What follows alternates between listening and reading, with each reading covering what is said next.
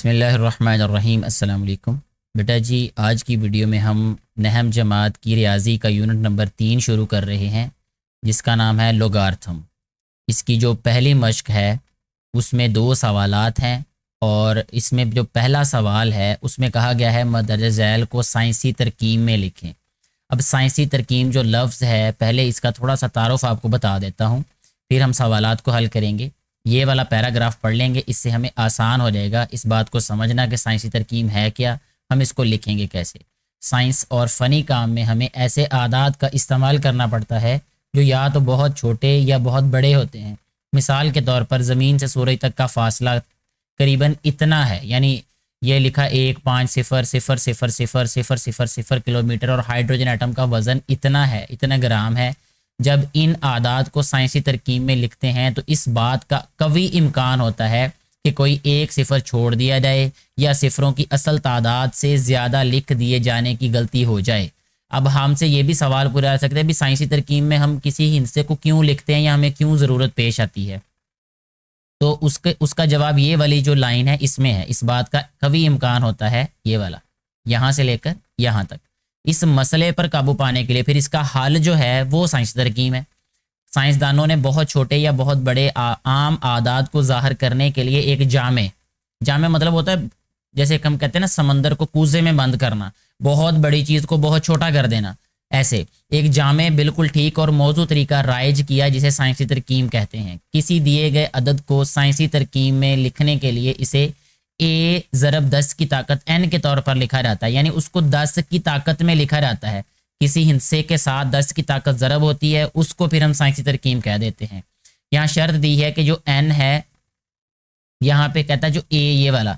ए जो है, यानी यहाँ पर जो भी हिंसा आएगा, वो एक से दस के दरमियान आएगा ये।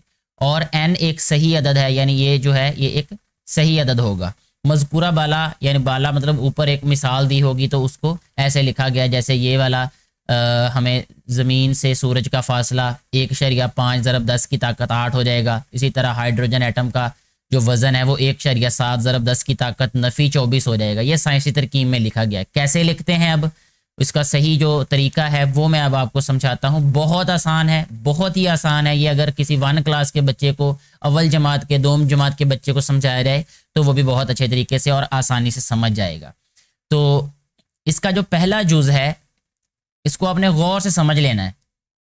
जुज नंबर एक में जो हमें सवाल दिया गया है, वो है पाँच, सात, सिफर सिफर।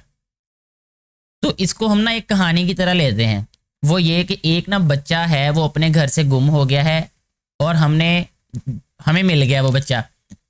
अब जब हम उसको घर छोड़ने हैं उसके तो घर वालों ने पूछा, जी हाँ जी, आप इसको कहाँ से लेके आए हैं? तो हमने उनको बताना है ये दो गलियाँ आगे से लेके आए इसको, ये दो गलियाँ हम पीछे से लेके आए हैं।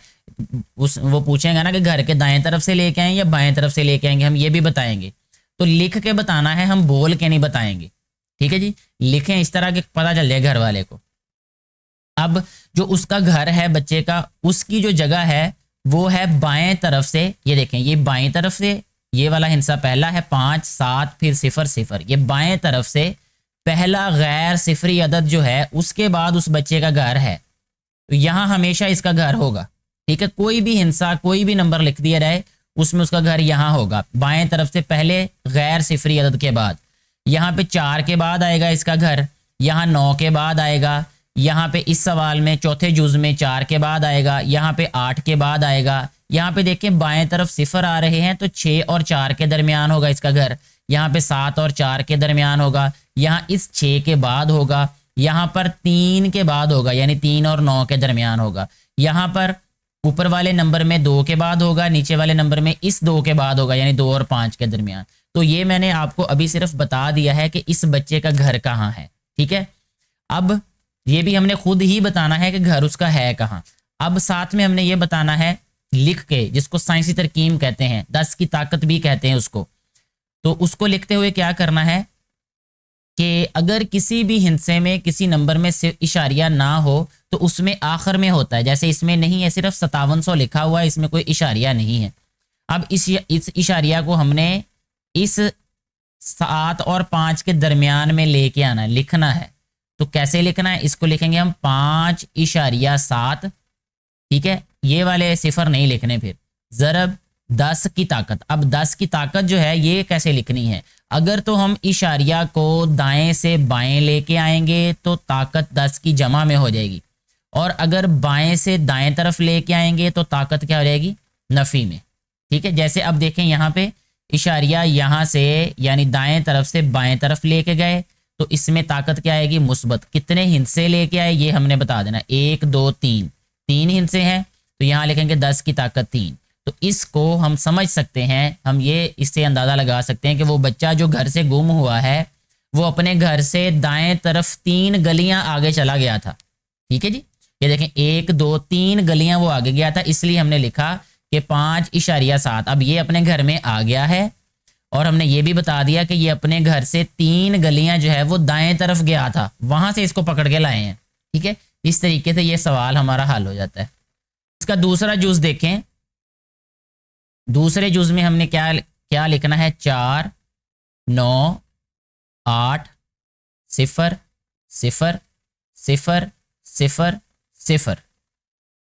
अब देखें, यहाँ इशारिया नहीं है कहीं पे भी इस सवाल में।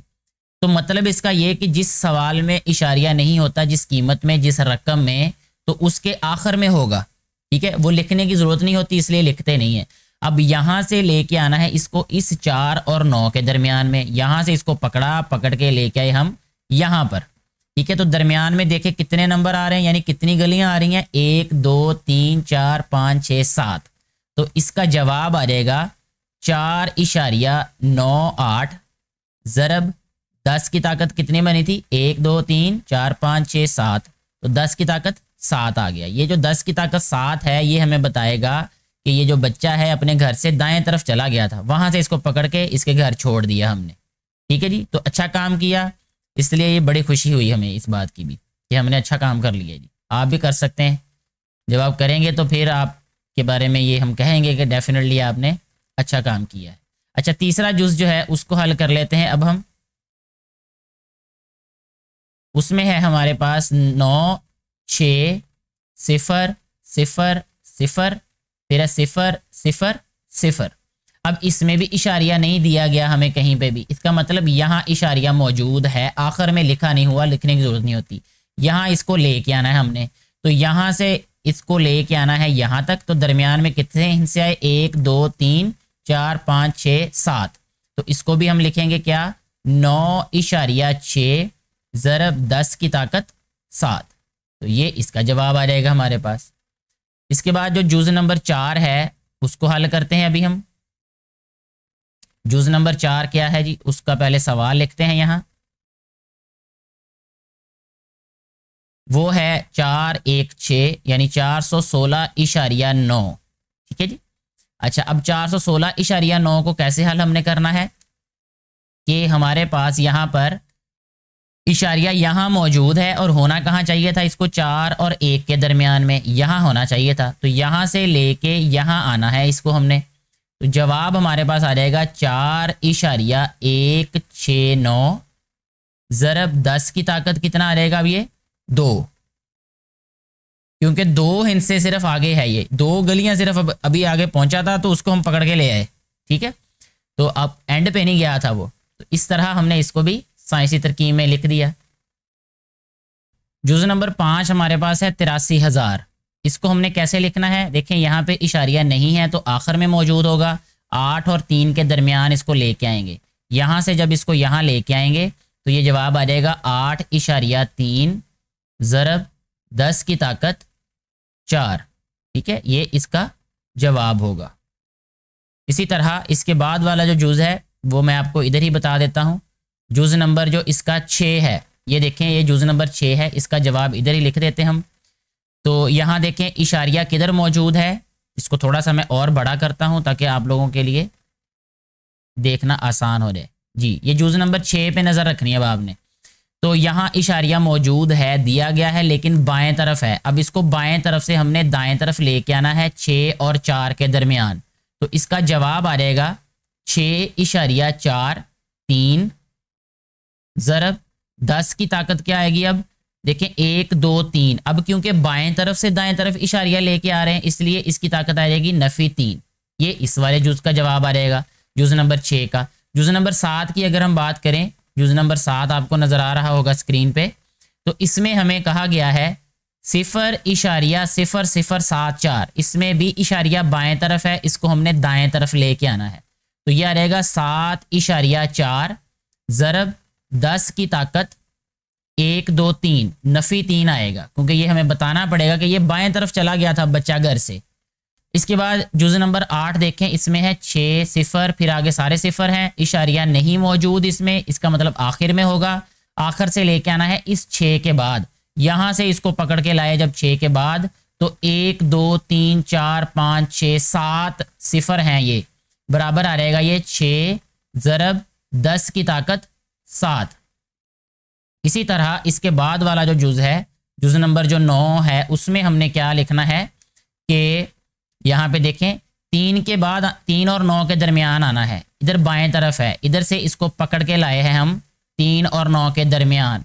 इनसे गिन लेते हैं, कितने दरमियान में आते हैं? एक, दो, तीन, चार, पाँच, छ, सात, आठ, नौ। नौ हिंसे आते हैं, इसका मतलब तीन इशारिया, नौ, पाँच, ज़रब दस की ताकत कितना आया था? एक, दो, तीन, चार, पाँच छः सात, आठ, नौ। तो नौ आएगा नफ़ी का ठीक है? क्योंकि बाएँ तरफ़ ये अपने घर से चला गया था, ये वाला बच्चा बेचारा। अच्छा जी, इसके बाद आखिरी इसका जो जुज है, जुज नंबर दस, उसमें क्या करना है हमने कि ऊपर जो हमारे पास कीमत है, उसको लिखेंगे हम दो इशारिया सात पाँच। ज़रब, दस की ताकत क्या आ रहेगी एक, दो, तीन, चार, पाँच। दस की ताकत आ रहेगी पाँच। इसी तरह बटे में लिखेंगे हम एक, दो, तीन, दो इशारिया पाँच, दो इशारिया पाँच, लिख नहीं हो रहा ये तो ज़रब, दस की ताकत, नफ़ी तीन, दस की ताकत नफ़ी तीन, यानी दो इशारिया पाँच, ज़रब, दस की ताकत नफ़ी तीन। इस तरीके से हमने सारे के सारे जो इसके जूस थे, इस सवाल के, उनको साइंसी तरकीब में लिख दिया है। किसी भी तरह का कोई सवाल हो, किसी देखने वाले का, देखने वाली का, बेटे का, बेटी का, किसी भी और का तो आप कमेंट करके पूछ सकते हैं। सवाल नंबर दो को हल करते हैं अभी हम, जिसमें हमें ये कहा गया है कि मदद झैल आदात को आम तरकीब में लिखें। यानी अब उन्होंने साइंसी तरकीब में लिख के दे दिया है, इसको हमने आम तरकीब में लिख देना है। यानी वो बच्चा अपने घर में ही है तो उसको उसको छोड़ के आना है उस गली में, जहाँ से हम उसको ले के आए थे। क्योंकि शायद हम जो है वो उसको गलत घर में छोड़ने की कोशिश कर रहे थे। कहानी है ना अपनी तरफ़ से बनाई तो इसलिए आप इसको सिर्फ़ इंजॉय करने के लिए सुने। अच्छा जी, सवाल नंबर एक देखें, इसमें जुज नंबर एक जो है वो क्या है बेटे? छ ज़रब दस की ताकत नफ़ी चार। अब दस की ताकत नफ़ी चार का मतलब ये है कि ये अपने घर से बाएँ तरफ़ गया था, ठीक है? यानी इसको बाएँ तरफ़ से लेके आए थे, घर इसका क्या है? ये वाला, पहला गैर सिफरी अदद जो कि यहाँ पे छः है छः के बाद, यानी ये इसका घर मौजूद है अभी। यहाँ लिखते इसलिए नहीं है कि अगर किसी भी हिंसे के आखिर में इशारिया आए तो उसको लिखने की ज़रूरत नहीं होती। तो अब इसको बाएँ तरफ़ हमने लेके जाना है चार हिंसे। तो ये है छः इसका पहला हिंसा हो जाएगा। दूसरा, तीसरा, चौथा हिंसा सिफर लिख देंगे। ये दो, ये तीन और ये चार। इशारिया लगा दिया यहाँ पे और ये सिफर इसलिए लगाया ताकि ये इशारिया वाजे हो जाए। यही हमारे पास इस जुज का जवाब आ जाएगा ये। ठीक है? अगली बात करते हैं, अगले जुज की। जुज नंबर दो की। उसमें क्या दिया गया हमें? पाँच इशारिया, सिफर छ, ज़रब दस की ताकत दस। तो इसको जब हम मुख्तसर करेंगे तो ये है जमा का दस, यहाँ पे ताकत दस की। तो इशारिया जो है वो दाएँ तरफ़ जाएगा। इसको हम लिखेंगे पाँच, सिफर छ। ठीक है? सिफर छः इसलिए लिखा कि इशारिया अब इसको लेके जाना है आगे हमने। तो दो इनसे ये हो गए, एक और दो। क्योंकि इशारिया यहाँ मौजूद था, यहाँ से गिनना शुरू कर देना हमने। एक, दो, तीन, चार, पाँच छ सात, आठ, नौ, दस। तो ये हमारे पास इस वाले जुज का जवाब आ जाएगा। ठीक है जी? अब बात करते हैं हम तीसरे जुज की। वो है नौ इशारिया, सिफर, एक, आठ, ज़रब, दस की ताकत, नफ़ी छ जब भी ताकत नफ़ी में आ जाएगी तो हमने समझ लेना है कि इशारिया बाएँ तरफ़ जाएगा। तो जब इसको हम लिखने, लिखेंगे, अब इसका जवाब तो थोड़ा सा दाएँ तरफ़ करके हम इसका जो हिंसा है उसको लिखना शुरू करेंगे, ताकि बाएँ तरफ़ हमारे पास जगह मौजूद हो। सिफर से गिनना शुरू कर दें छ एक, दो, तीन, चार, पाँच छ इशारिया फिर यहाँ पे सिफर आ जाएगा। इस तरह ये जवाब आ गया। आगे बढ़ते हैं, अब अगले जुज की तरफ़, उसमें जो कहा गया है हमें, जुज नंबर चार में, वो ये है कि सात इशारिया आठ छः पाँच, सात इशारिया आठ छ पाँच, ज़रब दस की ताकत आठ। जवाब इसका ये आएगा कि आठ है जमा का तो इसको हम लिखेंगे सात आठ छ पाँच, क्योंकि दाएँ तरफ़ जाएगा, इसलिए मैंने हिंसा इधर लिख दिया थोड़ा सा बाएँ करके। इधर से गिनना शुरू करने आठ हिंसे एक, दो, तीन, चार पाँच, छ, सात, आठ। इस तरीके से ये वाला हमारे पास इस जूस का जवाब आ जाएगा। इसके साथ ही हमारी मश मुकम्मल हो जाती है। मुझे उम्मीद है कि ये सवाल आपको अच्छे तरीके से समझ आ चुके होंगे। किसी भी कन्फ्यूज़न किसी परेशानी, किसी सवाल की सूरत में नीचे कमेंट बॉक्स को इस्तेमाल कर सकते हैं। मैं कोशिश करूँगा अपने इल्म के मुताबिक जल्द अज जल्द आपको जवाब देने की। शुक्रिया।